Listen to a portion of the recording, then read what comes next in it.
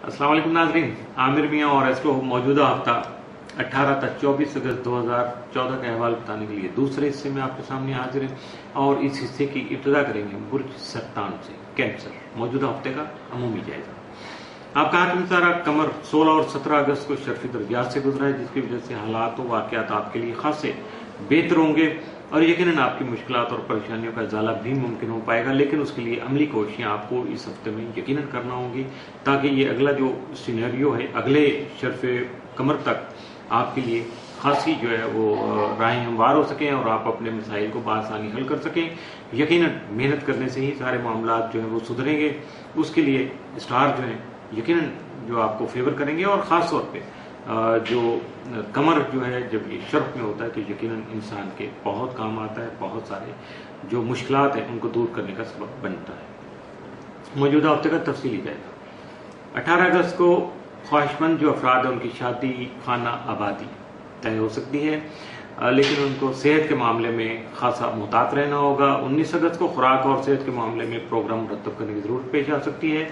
20 अगस्त को मानवी अंसर गालिब रहेगा जबकि आप अपने बेहतर मुस्तबिल के लिए मनसूबाबंदी भी कर सक, कर पाएँगे। 21 अगस्त को बाद अफराज से इख्लाफात पैदा होने का खदशा जन्म ले सकता है इसलिए थोड़ा एहतियात रखिएगा बोलने में अपने अल्फाज के चुनाव में और खास तौर पर अपने लहजे पर काबू रखिएगा। बाईस अगस्त को सरमाकारी करना जो है आपके लिए इन्वेस्टमेंट करना जो वो प्रॉफिटेबल रहेगा। अजीज़ों कारब से अहम मामला जो है वो तय करना भी आपके लिए बेहतर रहेगा।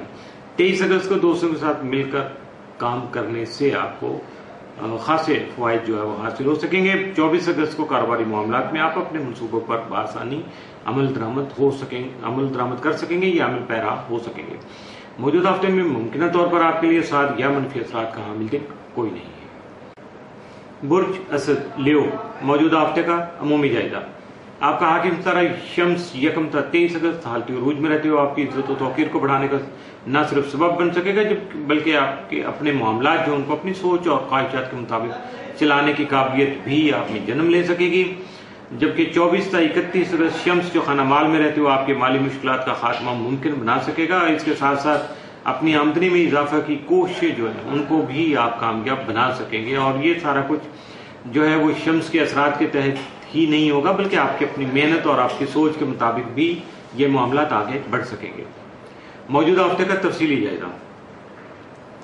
अठारह अगस्त को कोई बात करने या कहने से पहले या कोई काम करने से पहले गौर फ़िक्र ज़रूर कर लीजिएगा। यानी जिसको आ, कहेंगे आपको कि इन एडवांस जो आपको कुछ फिजिबिलिटी बनाना होगी या कोई पेशबंदी करना होगी, कोई मुस्तबिल की मनसूबाबंदी लाजमी करना होगी।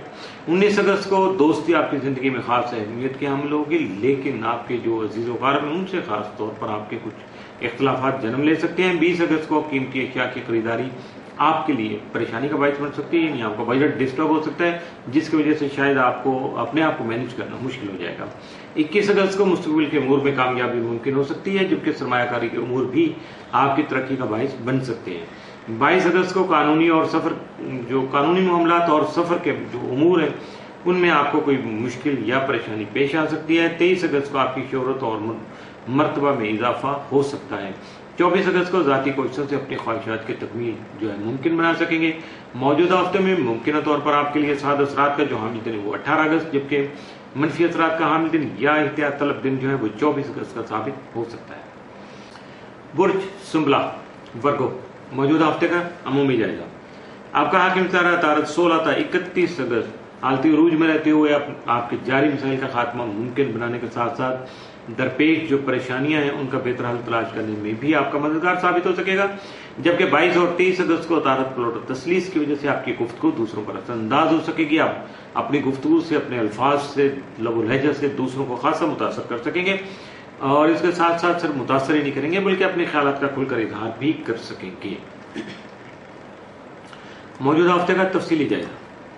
अठारह अगस्त को मुश्तर कारोबारी उमूर में दिलचस्पी लेने से आपको आपकी तो से ज़्यादा फ़ायदा हासिल हो सकेगा। उन्नीस अगस्त को कोई अहम खबर सुन सकेंगे, जबकि लेन देन के मामला जो है ना, वो आपके लिए बेहतर साबित हो सकेंगे। बीस अगस्त को कोई अहम खुशखबरी सुनने के साथ साथ जो है, बेरोजगार अफराद जो है, खासतौर पर उनके लिए तो सबसे बड़ी खुशखबरी उनके रोज़गार की होगी। यकीन वो एक्टिव रहेंगे तो ये काम भी जो है वो मंजिल तक जो उनको पहुँचा सकेगा या पहुँचाने का बाइस बन सकेगा।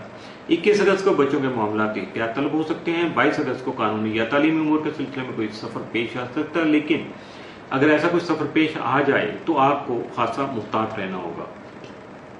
तेईस अगस्त को आपकी सेहत में बेहतरी की खासी जो उम्मीद है, बल्कि मैं तो यकीन की हद तक जाऊँगा कि आप बेहतर हो सकेंगे और अपने आप को बहुत बेहतर आप मामूल के और माजी के दिनों, ये पिछले चंद दिनों की नस्बत खासा बेहतर और एक्टिव फील करेंगे।